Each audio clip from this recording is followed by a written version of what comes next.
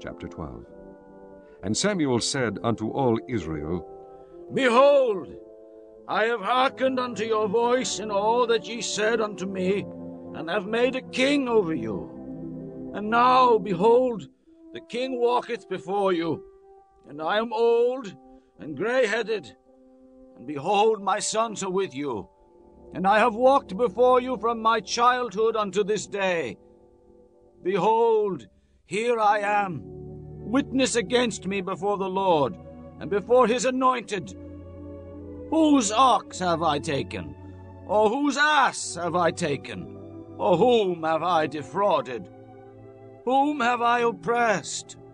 Or of whose hand have I received any bribe to blind mine eyes therewith? And I will restore it you. And they said, Thou hast not defrauded us, nor oppressed us. neither hast thou taken aught of any man's hand.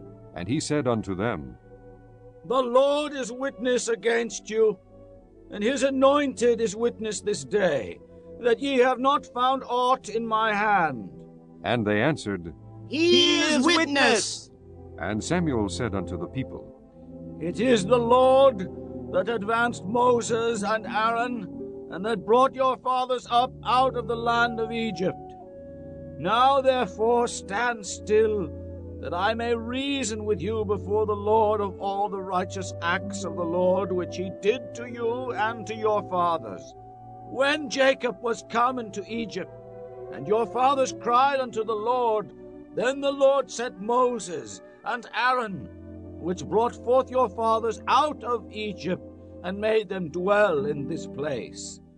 And when they forgot the Lord their God, he sold them into the hands of Sisera, captain of the host of Hazor, and into the hand of the Philistines, and into the hand of the king of Moab, and they fought against them.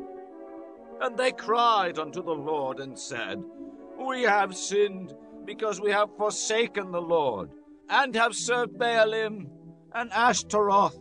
But now deliver us out of the hand of our enemies, and we will serve thee.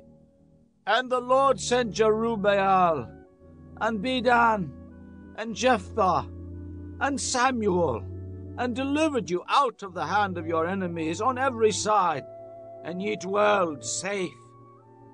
And when ye saw that Nahash, the king of the children of Ammon, came against you, ye said unto me, Nay, but a king shall reign over us, when the Lord your God was your king.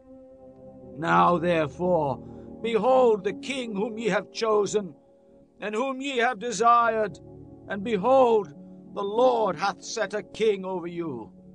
If ye will fear the Lord, and serve him, and obey his voice, and not rebel against the commandment of the Lord, then shall both ye and also the king that reigneth over you continue following the Lord your God.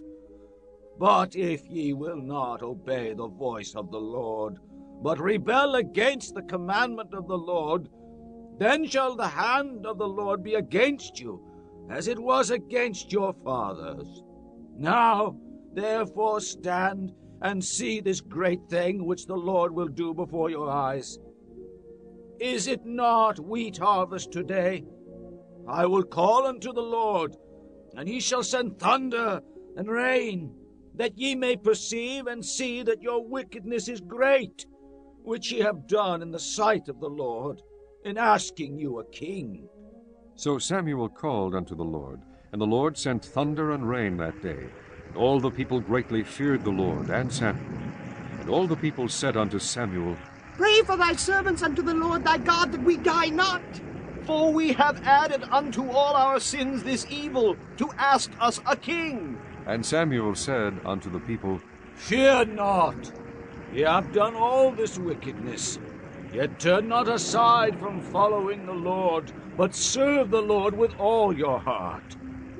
And turn ye not aside, for then should ye go after vain things, which cannot profit nor deliver, for they are vain. For the Lord will not forsake his people for his great name's sake, because it hath pleased the Lord to make you his people. Moreover, as for me, God forbid that I should sin against the Lord in ceasing to pray for you. But I will teach you the good and the right way. Only fear the Lord and serve him in truth with all your heart. For consider how great things he hath done for you. But if ye shall still do wickedly, ye shall be consumed, both ye and your king.